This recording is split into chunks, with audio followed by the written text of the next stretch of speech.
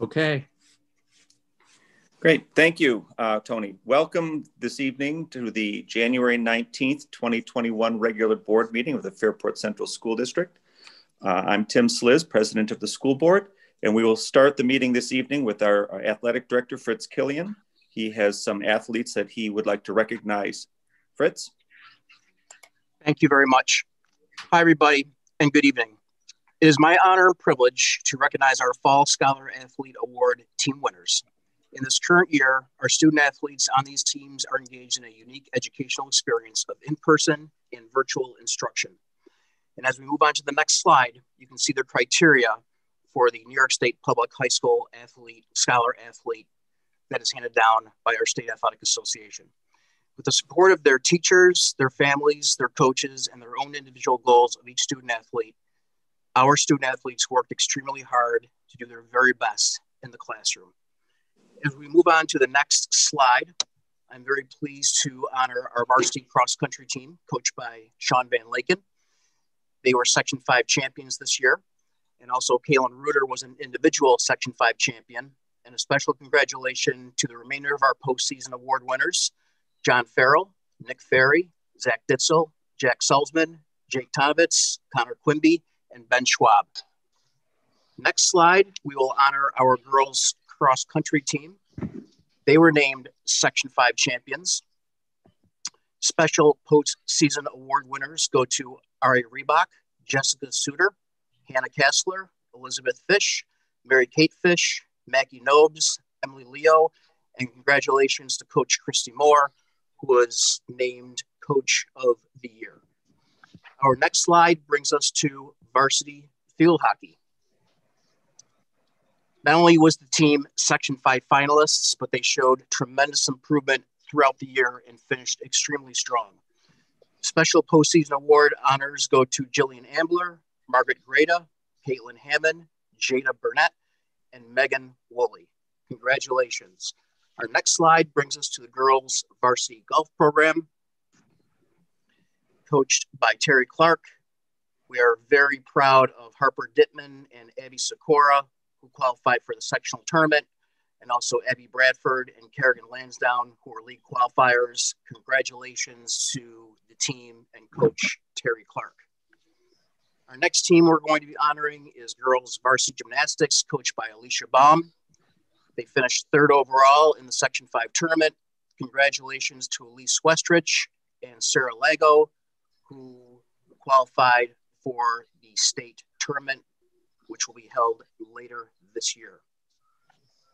Congratulations to our boys varsity soccer program coached by Bill Teasdale. They were Section 5 finalists this year. Congratulations to our postseason award winners, Caden Brunken, Jude Rohana, Aiden Fish, Kevin Clifford, Garrett Kachera, and Miles Palmer.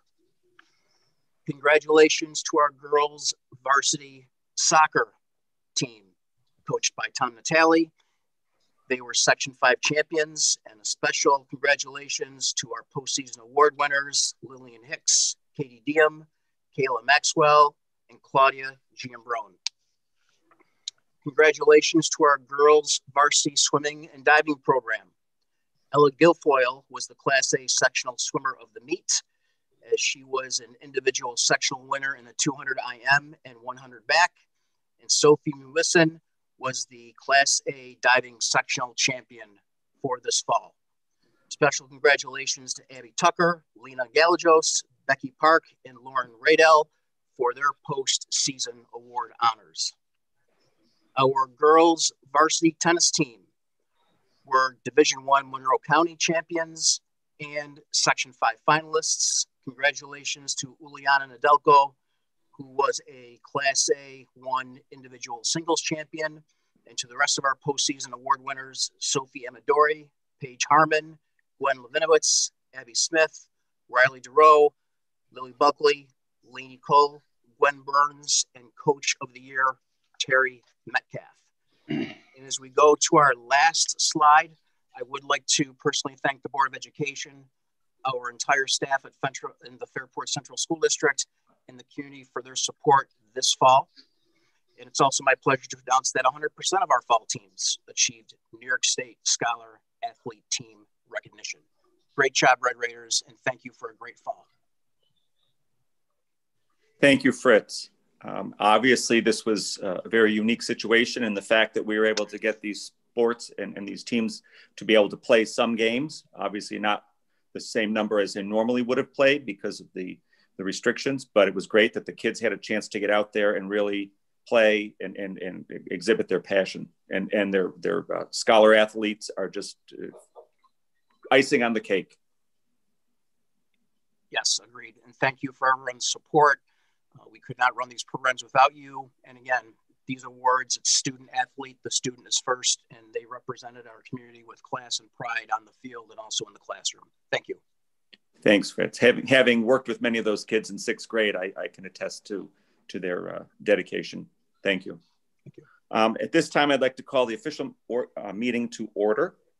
And with that, there are, believe there are no public comments this evening. So we will go right into the approval of the agenda. Um, if I could have a motion to approve the agenda.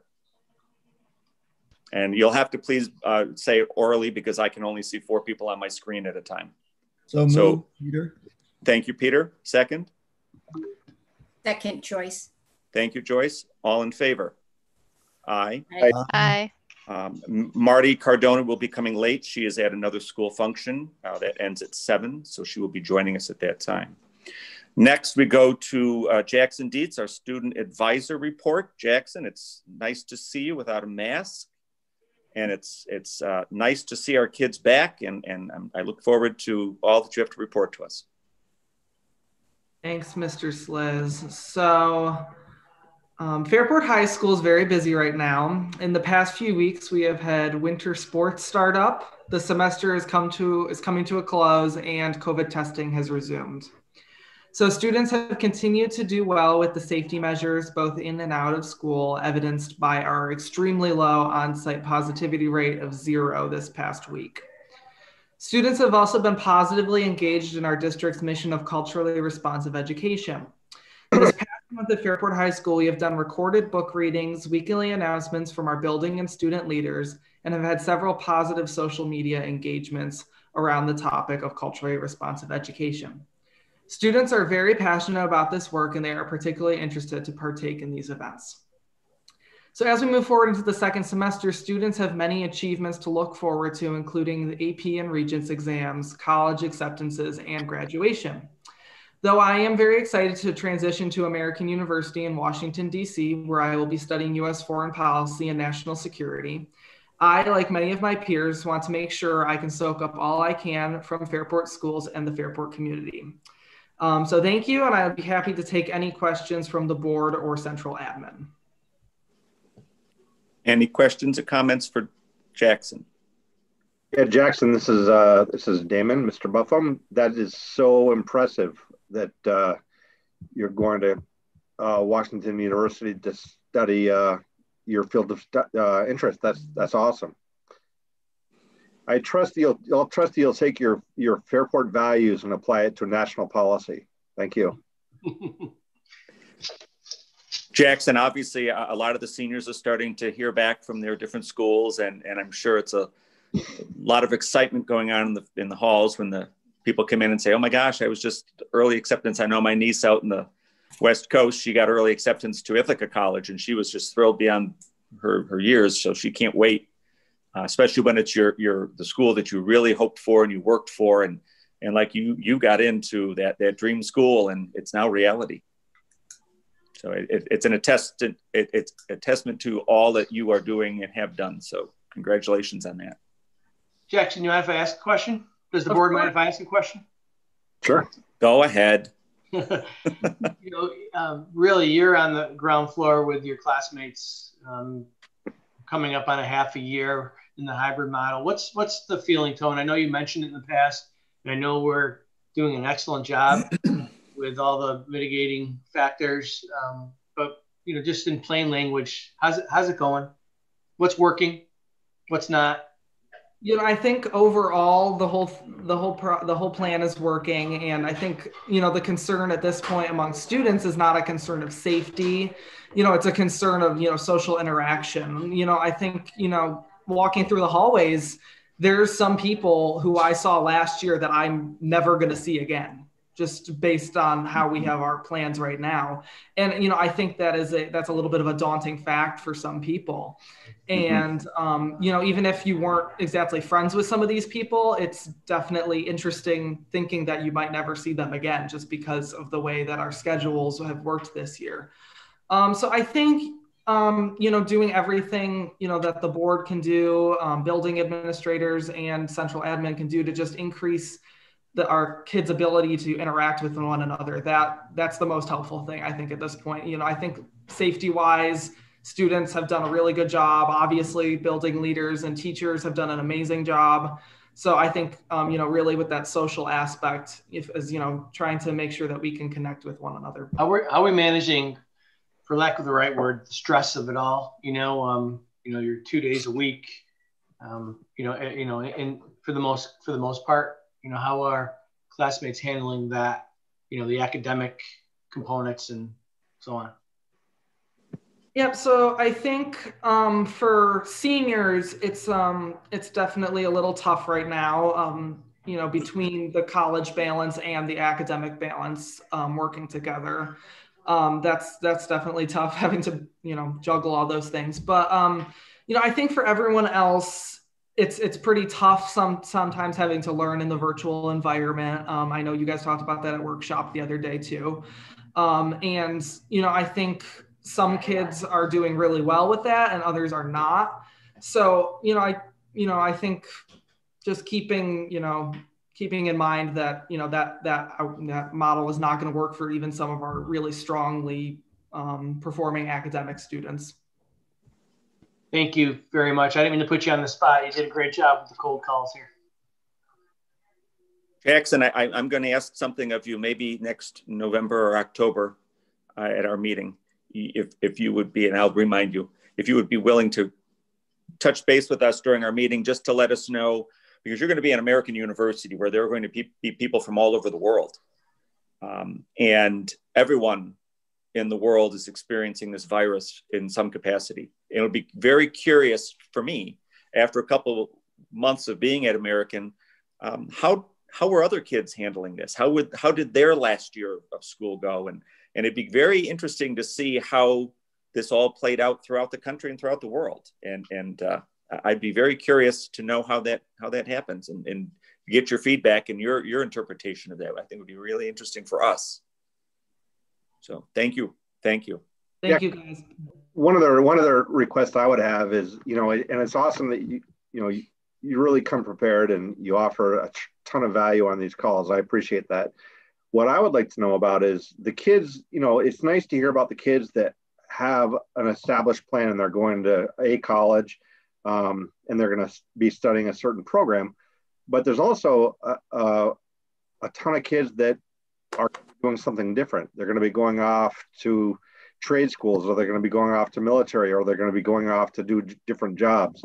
Um, and i realize that you can't like interview everybody especially in this environment but just give us a feel for what everybody's doing um, or just the, the broader section of fairport right? What are those kids you know i know again like a lot of kids are, are have an established college they're going to go to with a program but what about those kids that are doing something different right? And that's a very viable path as well. I'd like to be interested to hear what what their plans are.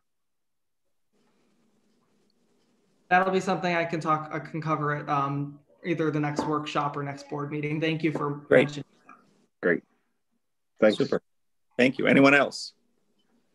Okay this comes to uh, president's report and it's more not necessarily a report, but there are a couple things I'd like to say. And first, I'd like to thank Peter Forsgren for three and a half years of leading the school board, uh, a year and a half longer than he was expected to.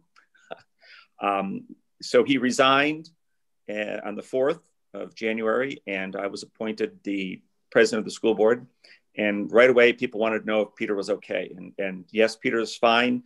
It's just that it's been the, the um, history of the board that every two years, the presidency and vice presidency rotate so that one person isn't saddled with the extensive work that goes into leading the district and being the board president.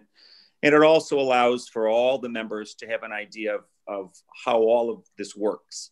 And so, Peter, thank you for extending your two years into almost four years, so almost double the time. Um, I'm I'm hoping that I can uh, follow in your footsteps and and be at least half of, of the president you were, and, and I'm working at it. Ariel will attest to that today in the past couple days. So another person I would like to thank also is Judy O'Leary Sargent, and I don't know if Judy is watching. I would hope that she's enjoying her new life down in North Carolina. Judy resigned on the 8th of January, and I would like to thank her for her years on the board, especially for her devotion to our community, both as a parent and as a representative. Um, her expertise in the mental health field brought all sorts of wonderful ideas and, and, and passions to the board and to the district. Um, and I'd also like to, to thank her for her camaraderie on the board. Um, we all learned from each other, and, and I learned greatly from, from Judy. And I hope that as we continue on this, this journey, we will uh, make sure that she and her ideals are part of, of what we do. Um, I was thinking of this the other day. We're about halfway through this very unique school year. And we hear from residents, we hear from teachers, we hear from neighbors and students. And there are a lot of emotions. Some are very upset with the fact that kids aren't in school five days a week. Some are upset with the fact that that uh, they have to wear masks. Others think that things are going great. Others wish they could be in three days a week. Um, it's a lot of unknown and it's a lot of discomfort. But I think back to the district, and back in 1956, here I go in my history lesson. 1956, Johanna Perrin Elementary School was open for the first time. Before that school was open, there were 14 schoolhouses throughout the town, and each one was run independently. It really wasn't a central school. So I can imagine the anxiety when, when the decision to build an elementary K 6 building, where West Avenue School was the high school, and you had people out in Egypt who were at the two room schoolhouse or out on, on uh, Wilkinson Road, the one room schoolhouse, and up and down um, Turk Hill Road, where two of the schoolhouses still stand. And I imagine the anxiety there. Um, I'm sure residents and parents, the fact that now their ch- children have to ride a bus to school into the big village, I'm sure that was daunting. Then in 1959, when, when Minerva Deland was built, and that was the high school, um, we now had a junior high, which was the old West Avenue school, which was the former high school. So now we had an elementary school, a junior high, and a high school. And I'm sure that created all sorts of anxieties. And then you had to redistrict. And then in the late 60s, early 70s, we were building uh, a house a day in Fairport and Perinton. So we had three to 350 starts, housing starts for three or four years in a row. I know when I went to kindergarten, my mother was a little nervous because our kindergarten class was meeting in the third floor of the Methodist Church on West Church Street because the kindergarten rooms up at Brooks Hill hadn't been finished yet. And there was a lot of anxiety of who's going to bus. And so, so it's, it's, it's a testament to who we are as a community. We've had a lot of, of change. We've had a lot of uncertainty. We've had a lot of unknown, but we've always persevered. And actually, I think every time we come into one of these and face these challenges, we come out stronger, a stronger community. What's better for our children? Our children are, are experiencing some unique learning experiences right now. I know some of the teachers I've spoken to, they have six and seven kids in a class. They said they've never known their kids as well as they do this year because you can connect with kids when you have seven or eight in a class. Then when they get together on their Wednesday Zooms, when they can see everybody and they can interact. So it's it's unique, it's different, but I, I'm, I'm confident that we all will become better for this and we will find new new challenges but we'll also find some new activities and new ways of learning that we never really knew about. And now we're finding that wow there's some really exciting things that are going on here. So on that note i'd like to thank our students. They've chugged right along and they're just putting their they're going full force as you heard from jackson yeah, it's different, but we keep going forward. Our teachers, our cafeteria workers, our transportation, our cleaners, our custodial staff, our bus drivers, our building and grounds.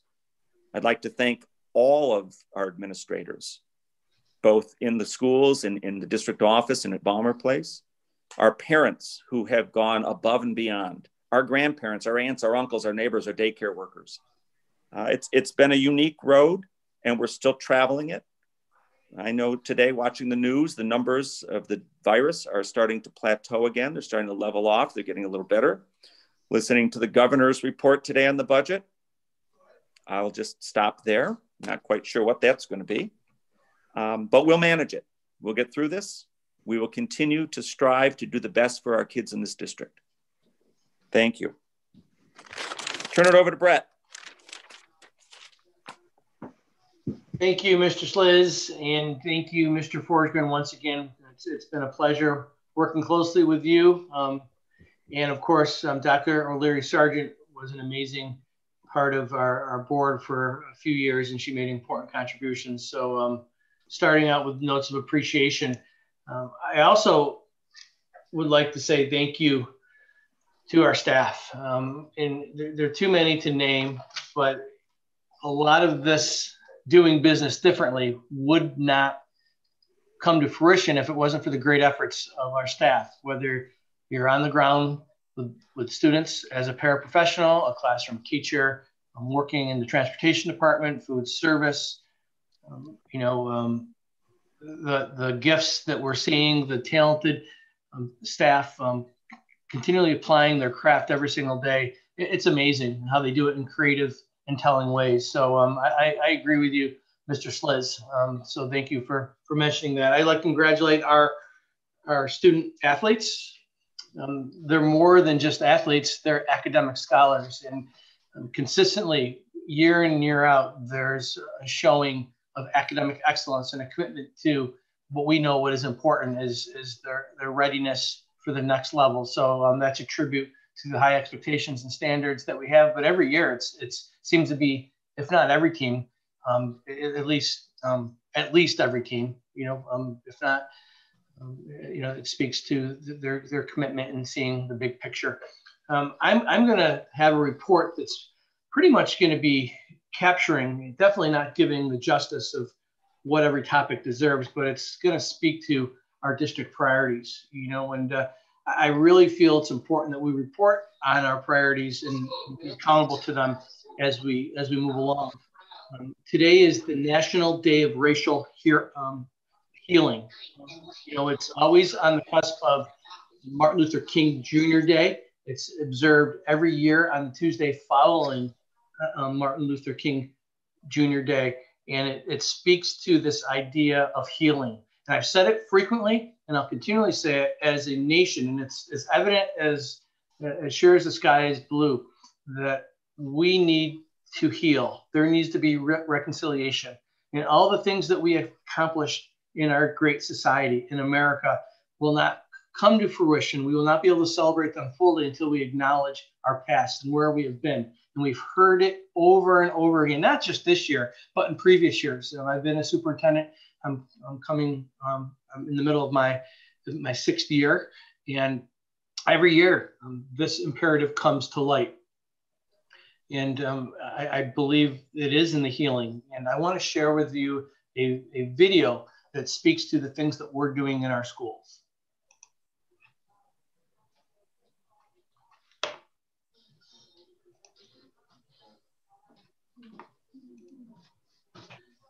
Hi, Dominic Monticelli here, very proud principal of Notre Dame, here with Jada Crocker and Jackson Rucker. Um, I wanted to share a, a, quick overview with you about some of the work we're doing here uh, culturally.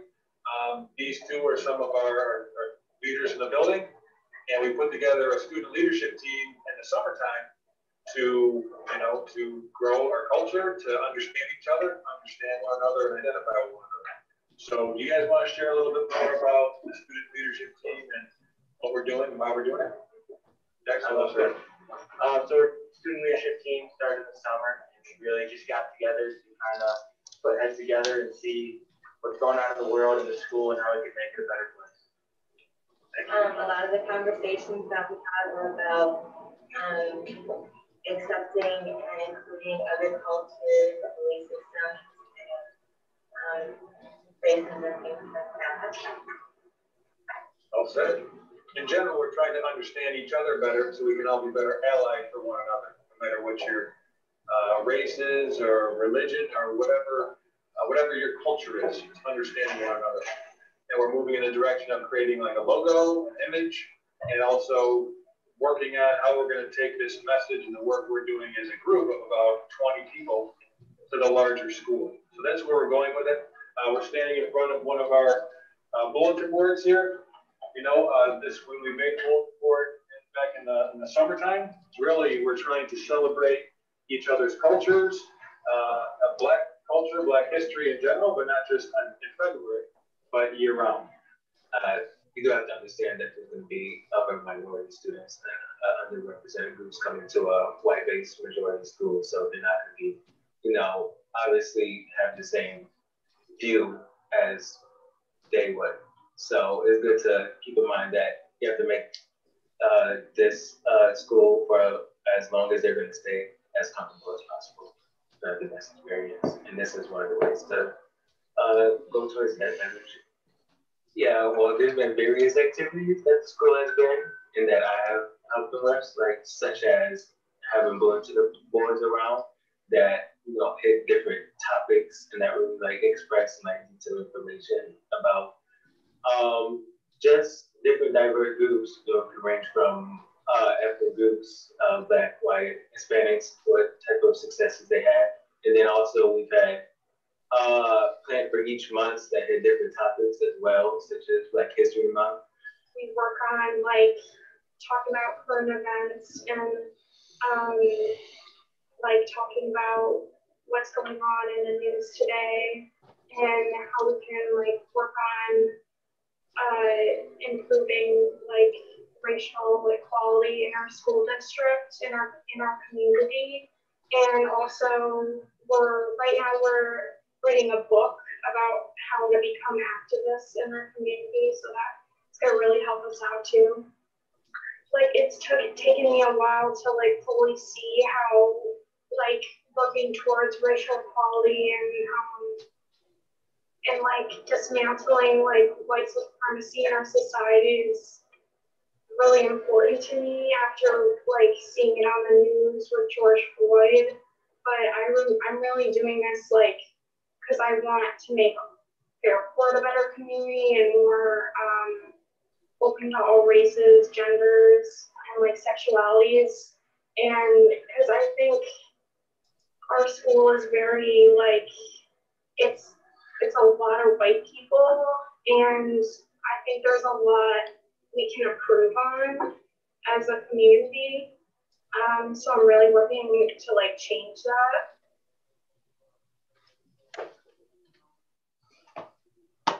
you know, our, our students always speak their truth and they do a wonderful job of um, expressing what's in their hearts. So um, this is National Day of Healing Week. Um, there's a number of activities occurring, as you saw.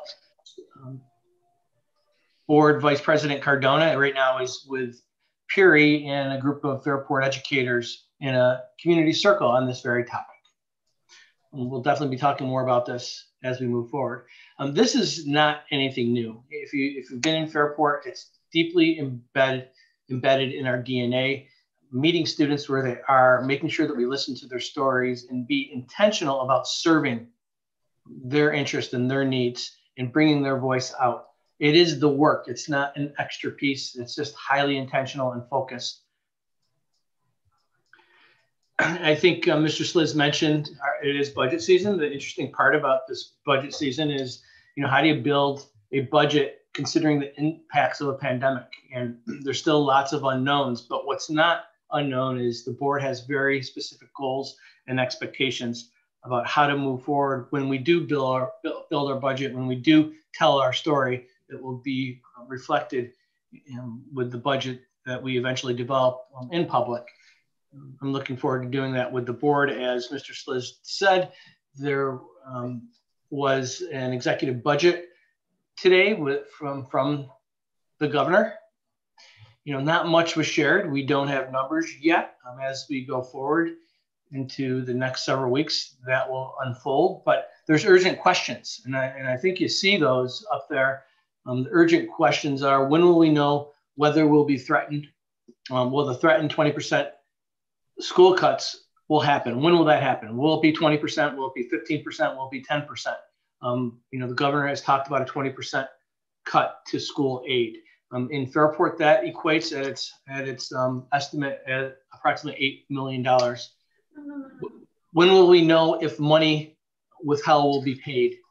To date, money has not been withheld on our payments. Um, there's some 1920 money that we're still waiting on, but otherwise payments have been made. But um, as we continue to go through, um, we're we're all curious about that looming um, projection that the governor has made. With uncertainty over federal funding, will budget planning be contingent upon further federal assistance? So these are the questions that are in our mind in the forefront. And as we talk about how do we pay for our programming, we have many incredible things occurring in our district. Um, our priorities are well stated through our budget. You can see just by this chart, we rely on our state aid. About $42 million of our $135 million budget is state aid. So when you're talking about a reduction uh, of the magnitude of 20%, that will be um, impactful. Um, so I, I, think that's why we're all sort of waiting with bated breath and we're waiting to see how this unfolds.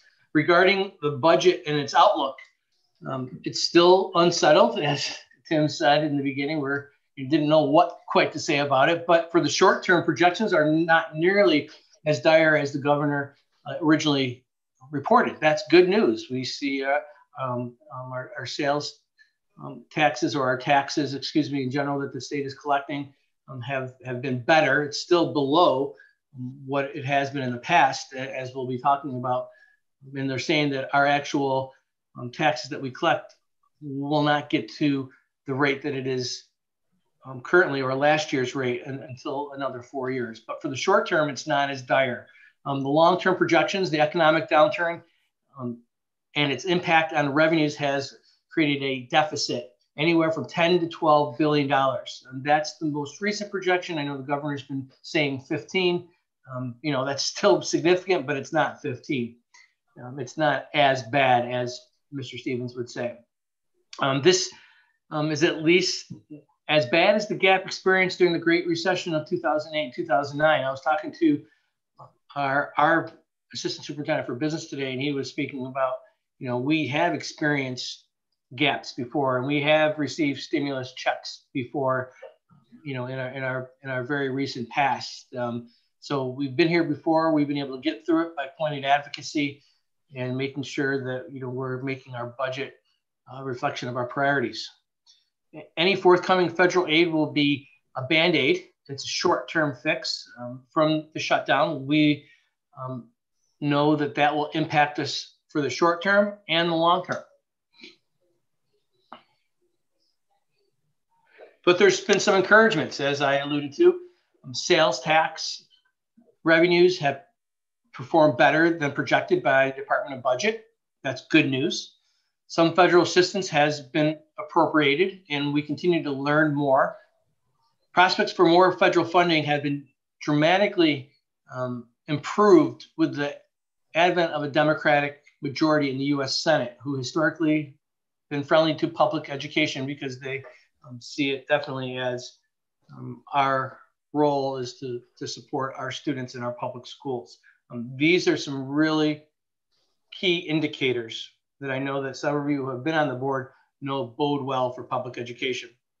We have points of advocacy.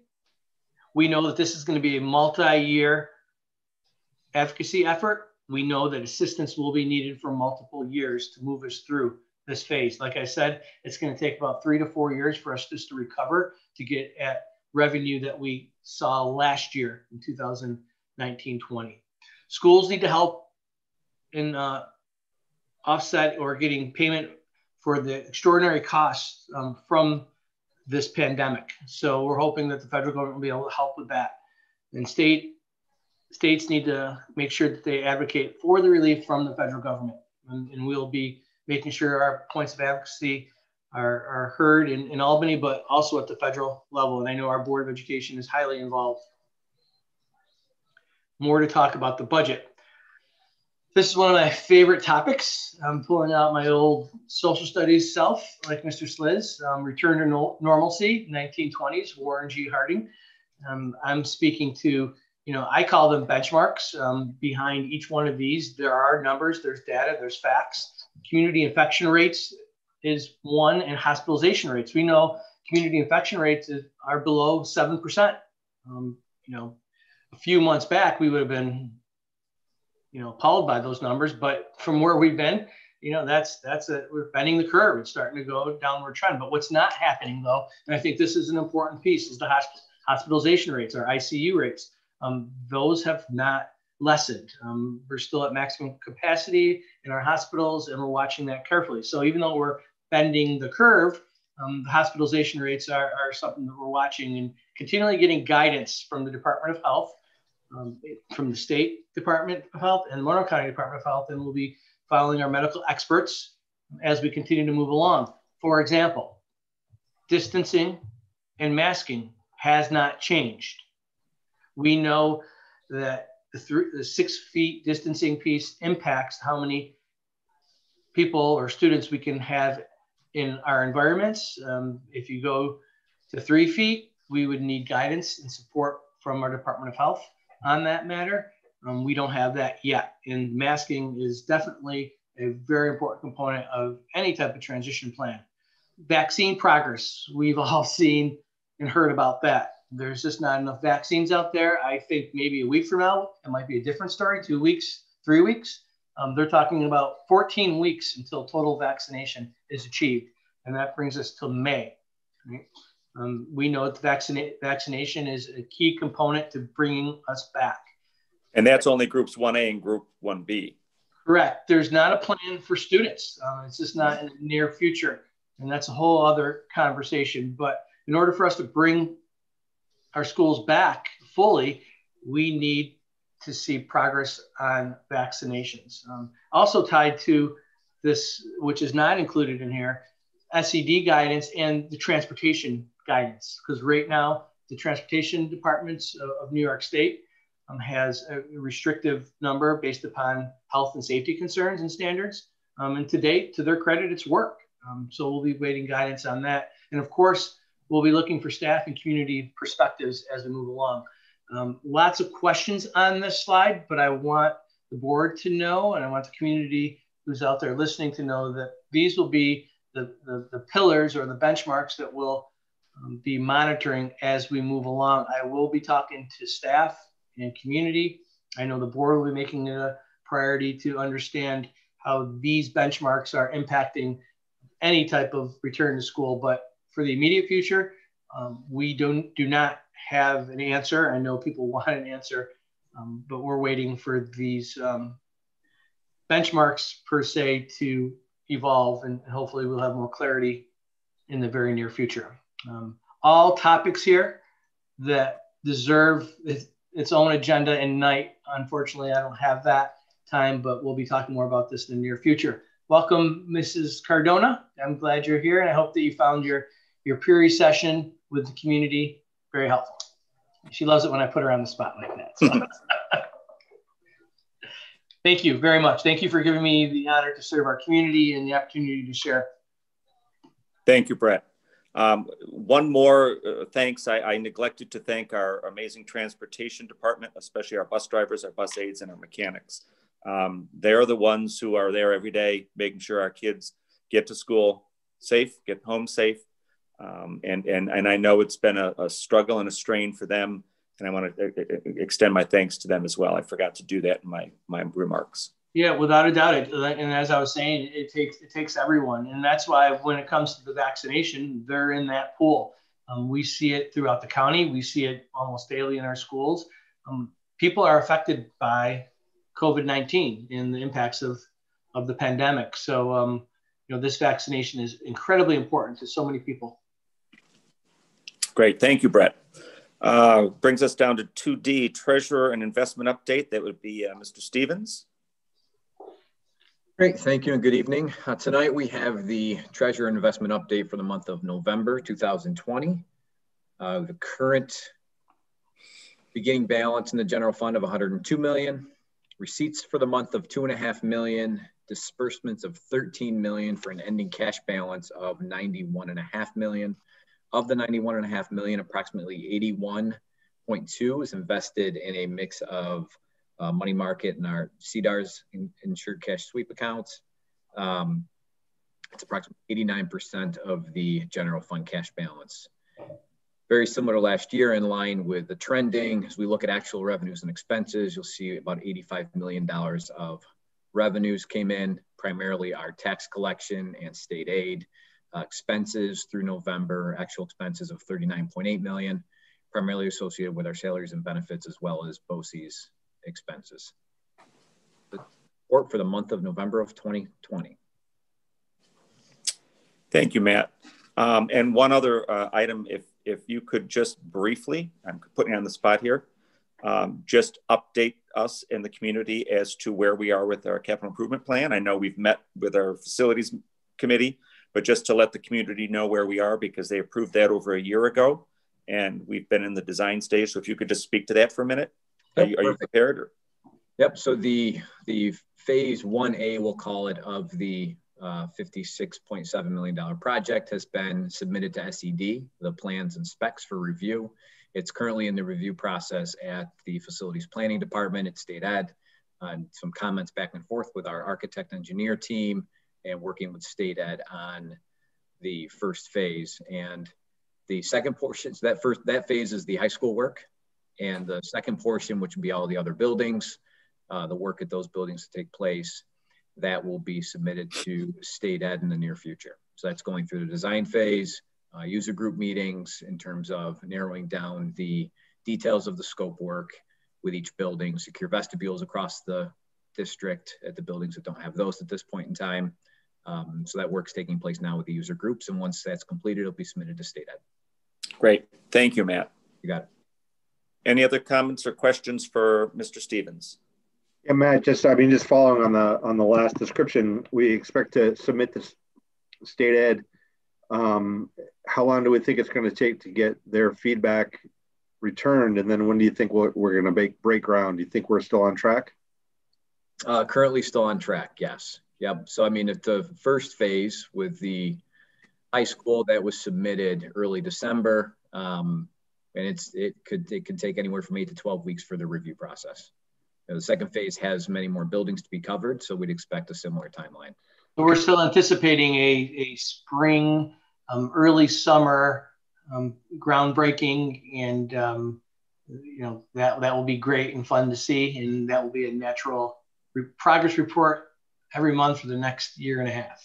Yep. Right. That that initial part for the construction work is the high school work that Mr. Provenzano yep. talking about with the late spring, early summer work to begin. We and it are, I mean, I, I know that you built contingency plans for disruption for the students and, and the staff. So I, I, assume that you're working with Bob Clark and his staff to make sure that we um, can. So work. every, you know, what we'll do is, without a doubt, um, talk about, you know, what are the swing spaces that are going to be needed, and you know, where we're going to be playing our games for the next several um, if not several, you know, year, year and a half. Um, how will this impact instruction?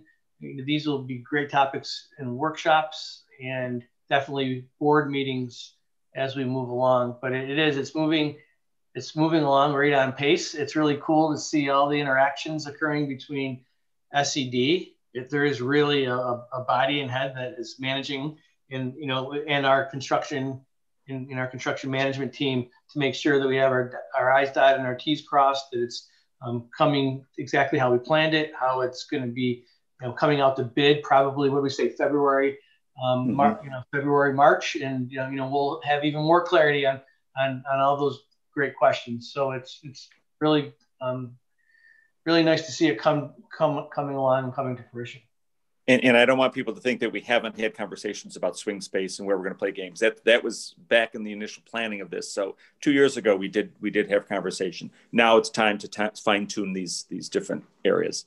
So yeah, please don't please don't think we haven't thought of this, but because we have, it's all part of the plan. And just and to add to Mr. Sliz's comments, the schedule coordination has been discussed with the cafeteria at the high school. Um, how that'll work in terms of the space there, swing space. Um, with science classrooms and so forth. So a lot of those conversations have had and have been have had have been done initially, and then it'll get done to fine tuning the another reason why our cafeteria staff um, should be honored and celebrated because they're going to be doing business differently, um, you know, for multiple years. Um, in addition to what they're going through now, they'll be doing it, you know, in an alternative fashion. So um, more to report on that. Thank you. Great. Thank you all. That brings us to number three on our agenda, and that's the consent calendar, where we're the approval of the minutes, both the board meeting, the workshop, the treasurer's report for uh, November, the bid and surplus recommendations that we have all had uh, opportunity to view, audit and finance committee meeting minutes, which we met last week. And I would like a motion to approve the consent calendar, please. And I do ask you your uh, verbal, please.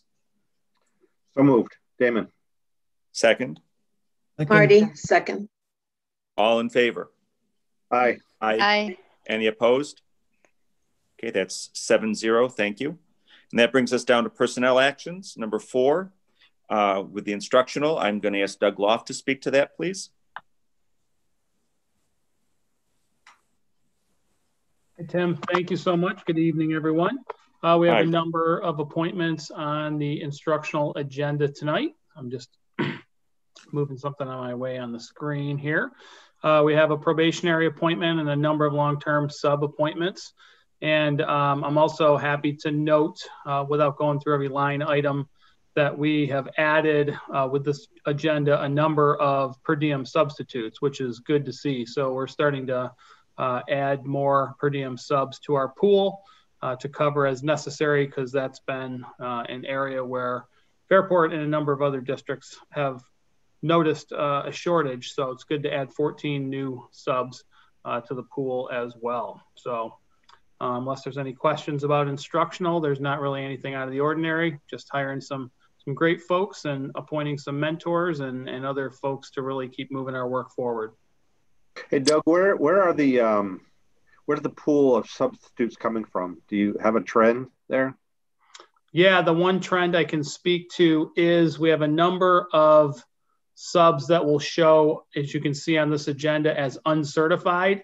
Uh, they're they're just finishing programs and they're all taking their tests and applying for certification. So although they're uncertified at the moment, um, 90% of these folks are in the process of getting certified. So right now they're uncertified, but hopefully most of them will be certified soon. And with the COVID flexibility we've been given from the state of New York, they're able to sub 90 days for the school year versus the 40 days previously if uncertified. Uh, but the trend has been more uncertified than certified. But like I said, they're in the process, most of these candidates, of being certified. Great. Do they have a connection with Fairport in some way? Are they graduates or? They... Uh, uh, many, many do. Um, I've been in more communication with local universities recently, so I think that's been helpful. We're really growing that network. Um, yep. So, you know, in my second year in this role, I've gotten to know more of the professors that oversee the education programs at the local colleges. So I think we're we're really starting to rebuild that network, and and they're funneling people our way, which is great. Great. Thanks. Thanks, Doug. Yep. Great. Sure. Thank you, Doug. Okay, I need a motion, please, to accept the instructional. So moved, Joyce. Second. Amen. Marty. All in favor? Aye. Aye. Any any opposed? And that carries. And uh, Doug, again for the athletics, please. yep, athletics is pretty brief. We have two uh, volunteer coaches for the winter season that we're seeking approval for. Um, as always, our volunteer coaches are fingerprint cleared. Great. Motion, please. So moved, Marty. Second, Damon. All in favor? Aye. Aye. Opposed? That motion carries 7 0. Non instructional civil service, please. Yep, we have a number of things on here. Uh, I guess what I'd really like to point out is uh, we have some retirements. So I'd really like to thank the folks uh, on here that are retiring. A few people uh, sooner than later, but many of them right at the end of the school year. So I'd really like to recognize these folks for their dedication and commitment to our district and community. And, and looking at those names, there are some of those names of people who have devoted decades to the district in many different capacities. And it, it uh, it's sad to see them go, and we appreciate all that they've done in their in their years in the district.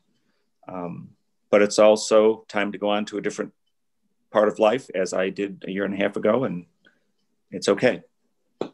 Thank you.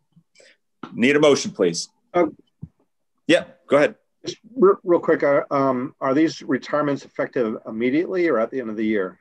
There's an effective date that speaks to. Yeah, It's different for each one. okay. Right. Sorry about that. I just uh, my I hadn't didn't see it. It's okay. Yep. I can't hear you, so it doesn't matter.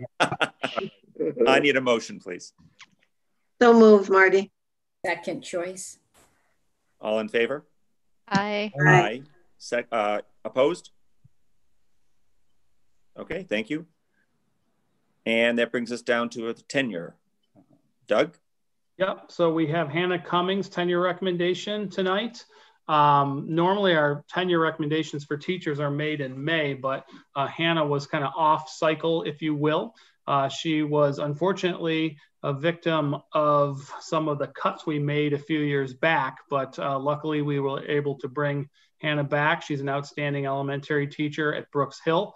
And um, with bringing her back and kind of the way that cycle went, her appointment is here tonight for your consideration, and her date for tenure actually falls in February. So we're excited to bring Hannah forth um, as a Raider forever, hopefully. Great. Okay, a motion, please. So move, Marty. Second Joyce. All in favor? Aye. Opposed? Okay, motion carries. Brings us down to number five, board discussion action items. Um, as you heard me say in my report, uh, Judy O'Leary Sargent uh, resigned from our board due to uh, the fact that she and her family uh, moved to North Carolina for um, uh, a job change or job uh, promotion, I believe it was. So that created a vacancy on the board. And we, as a board of six, interviewed um, a resident, longtime Fairport parent and resident, Arlette Miller Smith. And I would like a motion, if we could please, to appoint Arlette Miller Smith to fill out the remainder of Judy's term, which ends June 30th of this year. Do I have that motion, please? So moved, Peter. Second. Second. Okay. Any discussion? All in favor? Aye. Aye. All the discussion. Yes. I, I think just just a general observation, and I and I, I, speak for myself, but the whole board. We talked to uh, Arlette on Saturday, and uh, she's you know she'll she'll be great for the board, and I'm really looking forward to having her join and working with us as a team. We spoke to, we spoke to her yesterday, Monday. That's true. and, and I would I would I would like to echo your your sentiments and say Arlette, welcome to the board. Uh, and we look very forward to all that you will be able to bring and all of your expertise in your personal and your professional life. And we're very excited to have you as part of our board. Thank you so much. And with that, Arlette, I'm going to have the oath of office. If you would repeat after me. And it's very ironic because tomorrow uh, Joe Biden will be saying the exact same oath, except that he will not have this Constitution of the state of New York in his. Or Damon, just, or Damon asking yeah, or Damon asking a question. but it's, it, it's very interesting true. that no matter what what public office that you are elected to in this country, we all take the same oath. Mm. And in New York State, if we're in a, in a school district or a town or, or, or village, we actually also have to part have the part about the uh, New York State Constitution. So if you're ready, I'll go slowly so that we can get this correctly. So I, Arlette Miller Smith. I, Arlette Miller Smith. Do solemnly swear. Do solemnly swear. That I will support. That I will support. The Constitution of the United States. The Constitution of the United States. And the Constitution of the State of New York and the Constitution of the State of New York. And that I will faithfully discharge. And that I will faithfully discharge. The duties. The duties. Of the office. Of the office. of the Board of Education of the Board of Education to the best of my ability. to the best of my ability. Thank you. Thank you. Thank you and welcome aboard. We, we are we are looking forward to, to having you join us. Thank you so much. Right. Yes. Come on. Yeah. Now you got to give your welcome speech. Carla. I did that yesterday. And Arlette, please, if, if there's anything you'd like to say, please.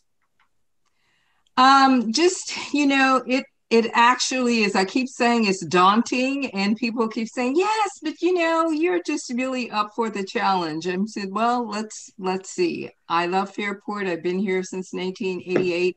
Both of my kids, you know, went through the schools, and uh, I must say that you know they came out pretty much unscathed and have gone on to uh, you know to do well uh, for themselves. Um, i'm very concerned about our students in terms of them being able you know to uh, go out into this world and definitely to help us to move forward as a country um, these really are very challenging times. I can't imagine um, the kind of energy and expertise and commitment that each of you bring on a daily basis um, to this job. It's just um, it's it's a priceless uh, kind of an endeavor, and it's an endeavor that all of us, you know, need to commit ourselves to at some juncture in terms of doing something for our children. And it doesn't matter whether or not, you know, they're adult children who have moved on or whether they are students right now. I'm very aware of how important it really is uh, for us to be supporters uh, of these, you know, developing minds and, and bodies, given uh, the structure of the kinds of days that we have right now in the, as I call it, the double pandemic. So I will do whatever it takes and whatever I have in terms of knowledge or love and patience. Um, and I'm not a very patient person. So I will work on that one more and more. My students will tell you I'm demanding, but I never ask for anything that I don't give. And so I'm here to serve. Thank you so much. We look forward to working with you and eventually meeting in person. Thank you. Policy first read. Motion, please, to accept the policy first reads. Joyce, And it's the School Safety, Information Security, Breach and Notification Committees of the Board. Second, Second. Was that Erica second? It was, yeah. Okay. Any discussion? I saw that there was a lot of a lot of edits on um, on a couple of these, the the security plan and the cybersecurity plan. So just were those edits that were provided to us by BOCES or did, did you guys add those modifications? These, these were edits provided by our BOCES. Um, you know, there was also some pandemic planning pieces that were added as a result of the conditions of our world. Um, but these were legal edits for the most part. Okay. And then Yeah. the, last, the last policy was around subcommittees. I didn't notice any changes there. Was is that a brand new policy? That's um that's been a policy that's been around and um it was just up up up for uh Gotcha. Okay. What I've done, Damon, Another- is I that's another committee. That's another um, policy that's driven by SED guidance. Okay. what I've done, Damon, is I've gone through the policy manual and any policy that is at least five years old. Um, where I'm bringing that, Ariel and I are kind of going through them and bringing those that need just to be quickly updated. Some need extensive updating, but those that we can look at quickly, a lot of them have uh, updates that are mandatory, like Brett said, through SED. So we don't really have any control over a lot of the updates. And those that we do have control over, we have been really uh, starting to look at those and piece those apart. And we also get uh, updates from the individuals in the district who are oversee tho- tho- those areas as well as from our legal department. Okay. All right. Great. Thanks. Yep. Okay. All in favor? Oh, I Peter, did you have question. something? Yep, Yes. I did have a question about Marcus, this. 'cause I, I can't see you, so it's hard to, I can only see one at a time. I know that, don't worry, I know how that is. Uh, uh, the uh, the information security, right? That um, we have personal information and private information, and student ID numbers. Where do they fall in? Are they both, or I assume they're protected? I would say that they would fall under both. That's a good question. Um, We, we don't list them specifically, which is why I wonder, but we do have just other identifiers or just numbers, and I assume that would be a student ID. I, I think part of the challenge I've heard having five kids in the district is the youth seem to be able to figure out each other's IDs. That doesn't make it very secure. Especially some- if you're siblings. Yeah. yeah. And, Yes. and some, sometimes it's simply because your friend gives it to you. Yes, they're, they're not so secure themselves between youth. That's true. Right. But they seem we seem to have an algorithm, if I call it that, that makes it fairly identifiable, and I think that might pose a challenge to us as a district under this policy. But I, I don't mean to bring it up in terms of well, I do bring it up for that, but also the policy. Do we word it sufficiently to cover student IDs, and then will we have a practice that supports that? Seeing as this is a know, first a lot of times though, if you if you put something like that in a policy that's so restrictive and narrow, um, and I think somebody said it, you know, kids will share their IDs, right? And um, if you put it in a policy that speaks to, you know, you know, thou shalt not have IDs exposed. I mean, that sets it up for. So you know that's why we do have a code of conduct. That's why if you know if, if identifications do get taken or infringed upon, we have a practice to support that situation. So, um, What what so uh, I think that's right and more with regulation. What about our our I guess algorithm for lack of a better word that that creates an ID that's somewhat easy to crack? Right? Because know a if it is. Is it? I, I, th- this is a question I think policy is going to be meeting on Friday morning. Yeah. And because and because this is a first read, we can maybe bring this back. a number is generated when your first child essentially goes in and then after that it goes numerically so there must be yeah some like you said peter some way of figuring that out So if we can, like the specific question, I could work with Tom before then and, Yep. you know, see how do we, what was the word you used? That was the right word, Peter. I- What was, I just lost Algorithm? Algorithm, thank you. Because I it's got- a I got all all, confused. Yeah. student student ID numbers are six digit numbers and they always have been. And and i'm Right. guessing it's the same for the year you enter maybe that is that is that can be part of the part of if i could figure it out yeah good So question. I will ask, how do we generate and how do we protect? Yep. yeah Is that accurate, Peter? Yeah, generate, and then I think uh, consideration of for siblings. Then is there um, enough uniqueness, right? So for those of us with larger families, right? If you if one sibling shares, now they know all five of them. And it's interesting because uh, student ID numbers are used more now because of the cards and the fact that they can scan their cards for lunch and they type in a number for lunch and and they're using their numbers. Back 20 years ago, you didn't have a use for your numbers, so no one really knew them. But now that students have them and they know their ID number, it's for everything yep, that that does bring up that uh, that point that you brought, Peter. Thank you.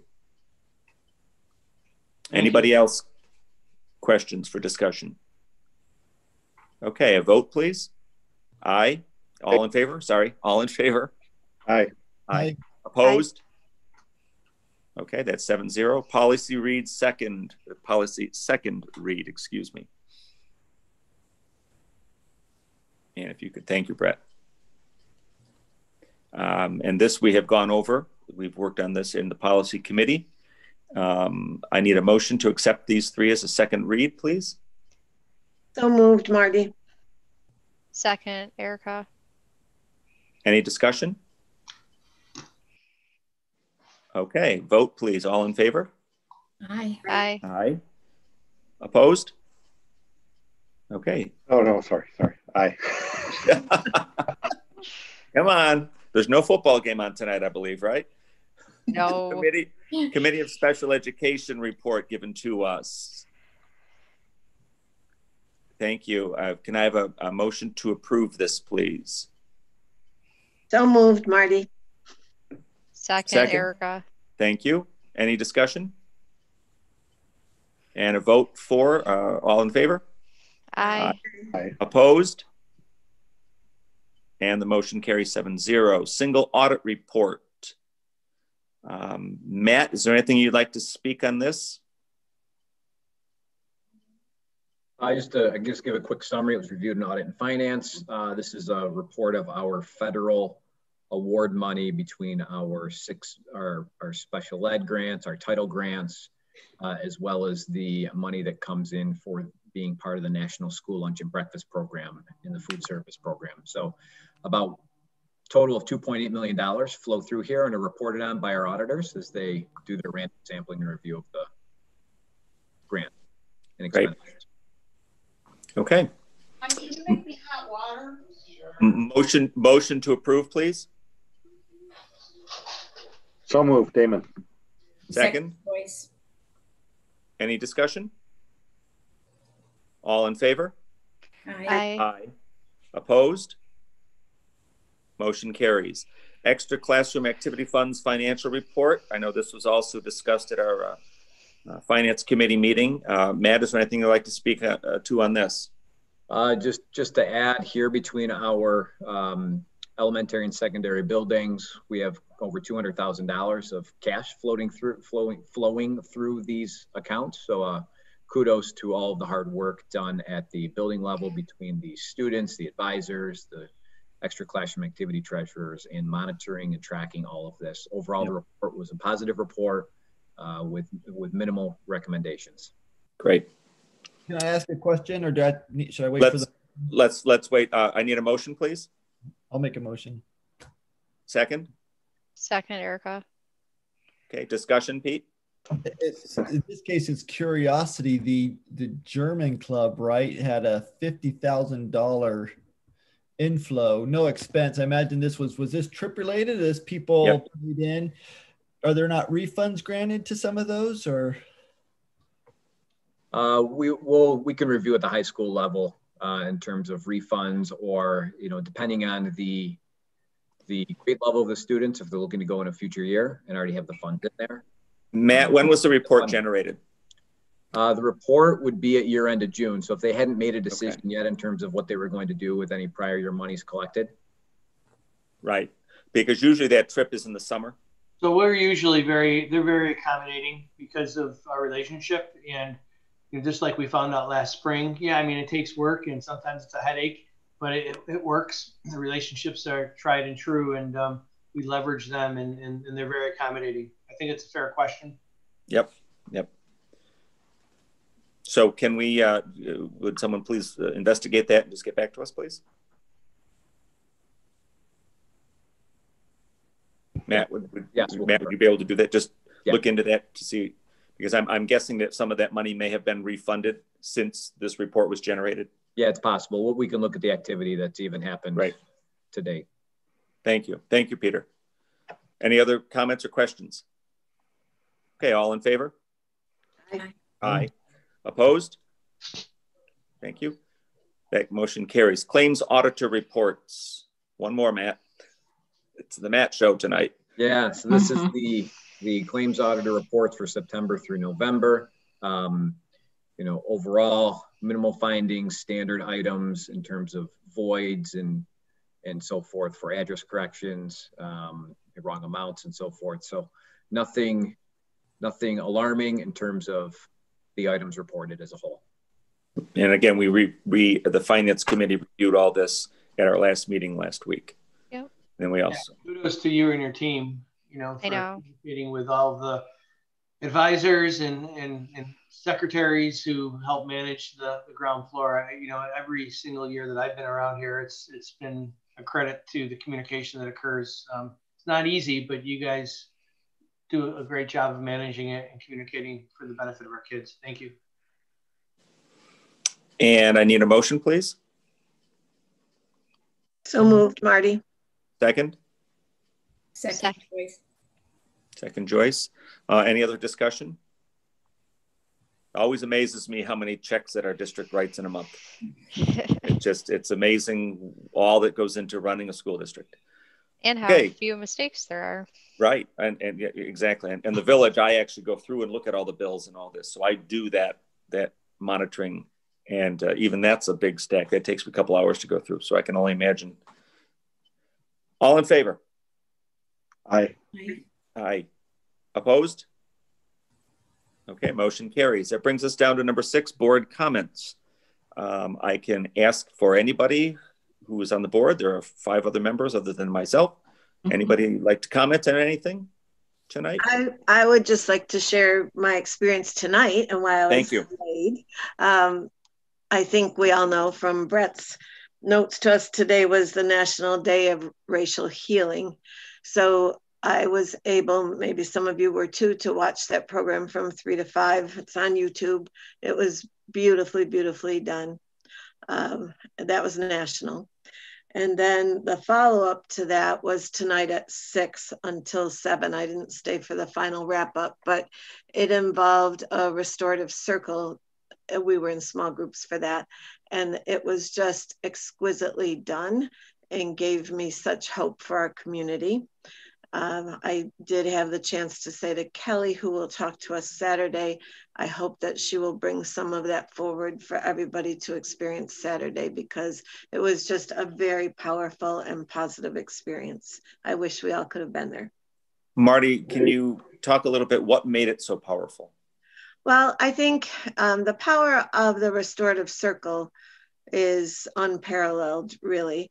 Um, it mine it was led by a Fairport staff member, a teacher, and um, a representative from PiRI, um, an associate group that we work with, and just the demeanor with which they conduct that, the sincerity with which they conduct it, and the honor and respect that they give to each person expressing their own thoughts and feelings um, on the topics that we were discussing, which were racial justice primarily, um, was was just so so well done. It was so respectful. It gave space for people to share what they thought and felt, and you know, just to honor one another, and also to honor the diversity in our land and hold some hope for the future, which we're all wishing for at this point in time. Great. Thank you for sharing, Marty. Yeah. Anyone else? Um, yeah, Tim, I am signed up for the event tomorrow night. Um, and I, I don't have the title in front of me, but I apparently the the person from Rush Henrietta that's developing the curriculum is going to be Shane. Shane Wiegand. yeah, that's tomorrow from six to seven. So I think Um, you know what? We just got an email that something's been changed. I think it's a different one. Okay, Simeon Banister and Shane are doing something. It's a different one that's been changed to February. I, I shared that one with you before. That's a whole. That's another one. Okay. So so that's that's not tomorrow's. correct. tomorrow they said they, they would send an invite tomorrow before the event so we could join via Zoom. Um, and I'm looking forward to, to seeing, um, you know, the material and, and just, you know, understanding the curriculum modifications and additions that we'll be making in the district. So that's, that's really looking forward to that. And um, I do have one more, more question. And that is just, first of all, recognizing that more of our teachers and staff are getting immunized, right? And I think that's wonderful. Um, it's sort of happening happening in, in an ad hoc kind of way, but I don't know, Brett, if there's anything else that we can talk about from a district perspective around immunization or how we're keeping track of of what's happening. And you know, I realize that I think it's just like anything else. First of all, I have to, you know, tip my hat to Dr. Mendoza, his accessibility, um, his interest in making sure that educators are vaccinated. But saying that there is a shortage, you just can't get enough shots in arms. Um, and the governor's expressed that. Um, and I think it's part of a national dialogue as well, but we're experiencing it right here. Um, we have teachers, or I should say educators, those who are in category 1B who are um, willing, um, able, and, and ready to do it. It's just um, appointments you can't get you can't get an appointment. I went to uh, to check the site out and sign up, um, just thinking you know I, I could you know get a shot in in in March or April, but booked, and you know that will change I think in a week or two um, as we get more access, um, as they actually have the people to provide the shots. That's another piece, but it's not from a lack of the Monroe County Department of Health. Um, they're great partners. Um, they're working diligently to try to increase access centers or depots where people can go. We're trying to find a way to to to um, advocate for an education education shot center where between this time, you know, you go and, and receive your shot. Um, but you know, th- those are the things that are in the work. Um, a- again, right now it's it is it's frustrating because it's hit or miss. It's who's savvy with a computer, who can you know time it right, and that's not what you know we would have in mind. And I know um, it's it's on Dr. Mendoza's mind, and we're fortunate enough to hear from him weekly, and, and he was just sharing with us that very sentiment today. So um, stay tuned. We'll commun- continue to communicate with our staff. I know that our educators um, associations are actively plugged into statewide networks of advocacy too. So um, they're they understand what we need. It's just again, it's it's a supply issue. Yep. Got it. I was I was on the website yesterday uh, registering my mother, and uh, everything was booked in this area. I know, I know down downstate in New York there are a couple openings, but I didn't feel like taking a five hour drive. Um, and I know that Monroe County School Boards is also working, trying to figure out if there's some way we could have a, you know, school school personnel uh, day of, of vaccination. But like like Brett said, there's just the vaccines just aren't there, and that was one of the governor's uh, discussions today as well. I have a question. What is the stance um, in terms of personnel who refuse to take the shot? Um, right, right now, um, you know, you can't mandate the shot. Um, you know, it's it becomes an ethical question, but Mhm. it is not a it's not a mandated component of of readiness right now. So Right, right.